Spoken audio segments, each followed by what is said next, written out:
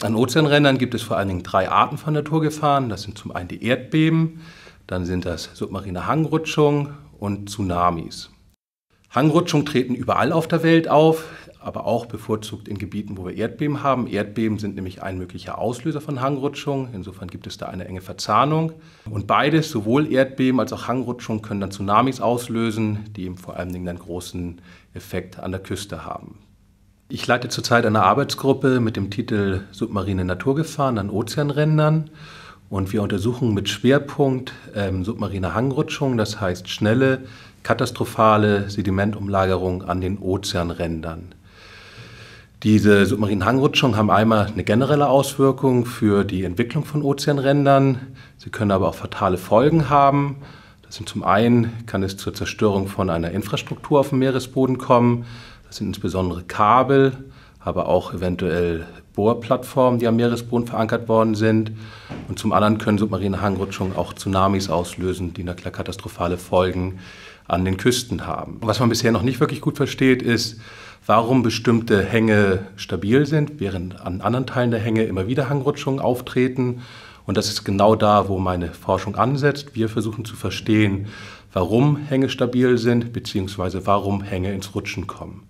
Hangrutschung gibt es eben eine Vielzahl in den Ozeanrändern. Eine sehr bekannte Hangrutschung ist die Storger-Rutschung vor der Küste Norwegens, die vor ungefähr 8000 Jahren stattgefunden hat. Das ist die größte bekannte Rutschung auf der Erde, ähm, von der man zum Beispiel sicher weiß inzwischen, dass die einen Tsunami ausgelöst hat, der über 30 Meter hoch gewesen ist. Weitere recht interessante Hangrutschung ist eine ziemlich kleine Hangrutschung vor Nizza gewesen.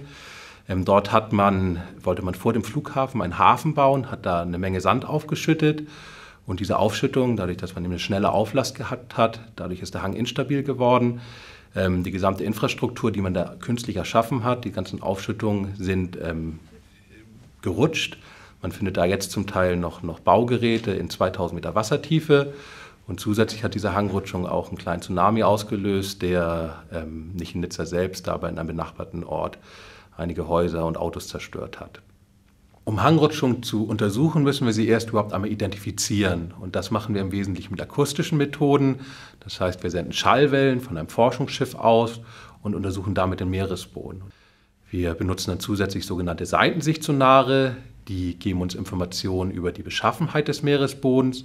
Und dort, wo wir im Hangrutschung haben, haben wir normalerweise eine raue Oberfläche und diese rauen Oberflächen können mit den Seitensichtssonaren sehr gut erkannt werden. Wenn wir dann etwas über die interne Struktur von Hangrutschungen lernen möchten oder auch wissen wollen, wie häufig es Hangrutschungen einen bestimmten, in einem bestimmten Teil eines Hanges gegeben hat, müssen wir in die Sedimente reingucken und das machen wir mit seismischen Methoden.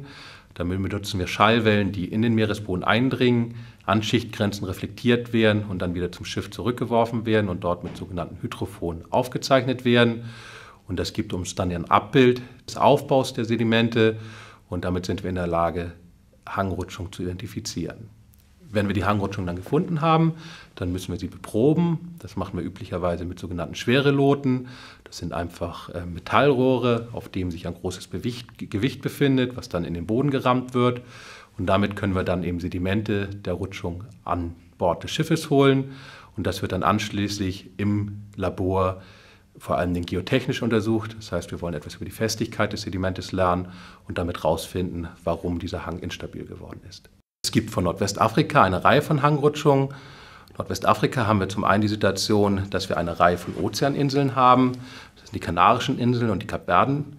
Und auf den Kanarischen Inseln, auf den Flanken der Kanarischen Inseln gibt es eine Vielzahl von Hangrutschungen. Das sind sogenannte Schuttlawinen. Ähm, die entstehen dadurch, dass die Flanken der Vulkane kollabieren und das Material wird dann in einzelne Blöcke zerstört und dann an den Hängen abgelagert. Und diese Blöcke, die können sehr groß sein, die können auch Kantenlängen haben von einem Kilometer und die können mehrere hundert Meter hoch sein. Ähm, was wir hier sehen, ist ein digitales Geländemodell von den Kanarischen Inseln. Wir befinden uns hier im Bereich zwischen Gran Canaria und Teneriffa. Ähm, der Übergang zwischen den blauen Farben und den grünen Farben, das ist die Küstenlinie, also alles, was grün ist, das ist oberhalb der Wasserlinie. Alles, was blau ist, das ist unterhalb der Wasserlinie und zusätzlich sind auf diesen blauen Farben noch diese grauen Farben drauf. Das ist eine zusätzliche Messung, die wir gemacht haben, die uns etwas über die Beschaffenheit des Meeresbodens erzählt. Und man sieht jetzt, wenn man hier sich den Hang von Teneriffa anguckt, dass es bestimmte Bereiche gibt, wo man eine relativ glattes Muster hat auf dem Meeresboden, einige Einschnitte, das sind submarine Canyons.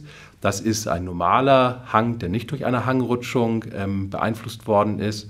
Und wenn man jetzt ein Stück weiter nach Norden guckt, dann sehen wir einen Hang, wo wir eine Vielzahl dieser großen Blöcke haben.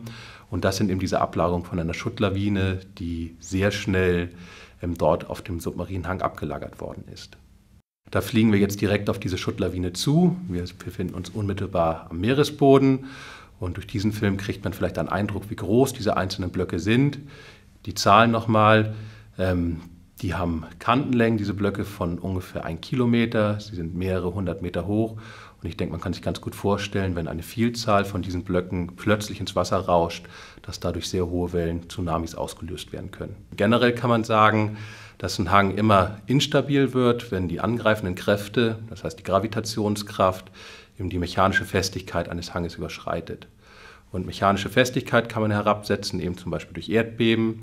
Und ähm, die Gravitationskraft kann man nicht direkt draufsetzen, aber wenn es aufgrund von tektonischen Prozessen zu einer Versteilung des Hanges kommt, ähm, werden eben auch die angreifenden Kräfte größer. Katastrophen kann man nicht verhindern, aber man kann versuchen, die Folgen zu minimieren. Und dazu ist es notwendig, vernünftige Katastrophenschutzpläne zu entwickeln.